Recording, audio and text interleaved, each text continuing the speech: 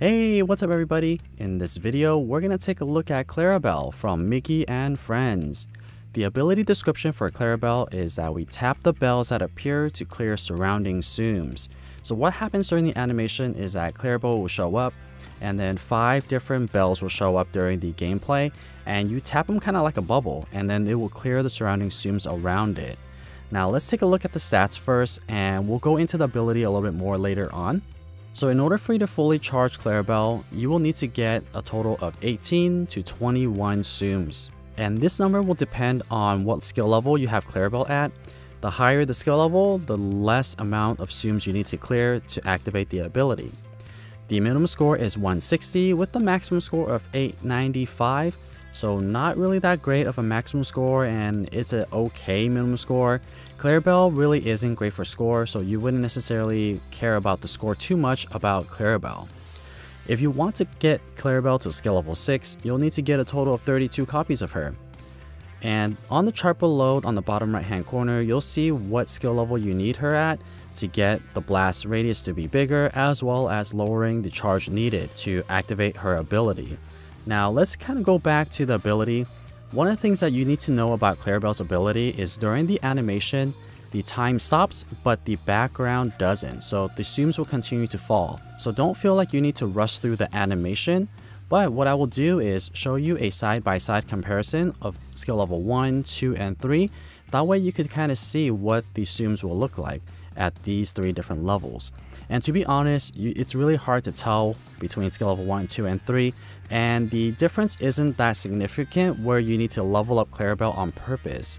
And overall, Clarabelle is actually the worst Tsum that you could get right now out of the four new ones. So between Elsa and Bruni, Charm, Lotso, Lucifer, and Clarabelle, Clarabelle is the worst one, so definitely don't need to get Clarabelle.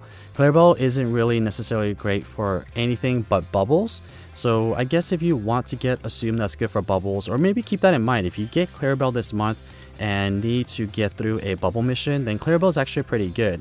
You're almost essentially guaranteed at least three bubbles uh, when you activate her ability.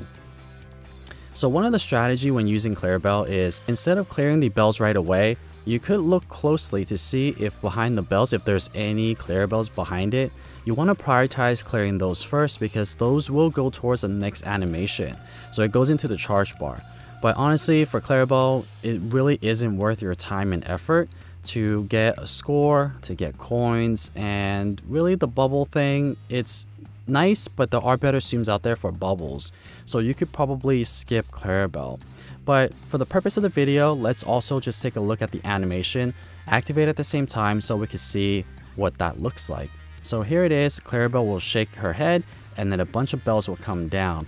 I'm going to slow it down so we can just kind of see what's actually happening and you'll see that there are green grass all around and the bells will show up and it's always going to be 5 bells no matter what skill level you have her at it's always going to be that but the higher the skill level the more you're guaranteed bubbles for the skill okay so now I'm going to skip to the very end here just to show you what my coin earnings were for these gameplays and they were not impressive at all for skill level 1 I only got 545 Skill level 2, I got 828. And at skill level 3, 1011. And I'm also playing with a 5-4 on, so I'm using 2,300 coins for all of these gameplays.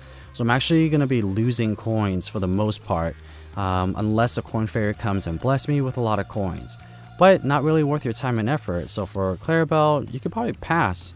So that's pretty much it for Clarabelle. I hope that you guys found this video helpful. And if you found this video helpful and would like to see more Tsum content, Please scroll down and hit the subscribe button and give this video a thumbs up. And as always, thank you guys so much for watching.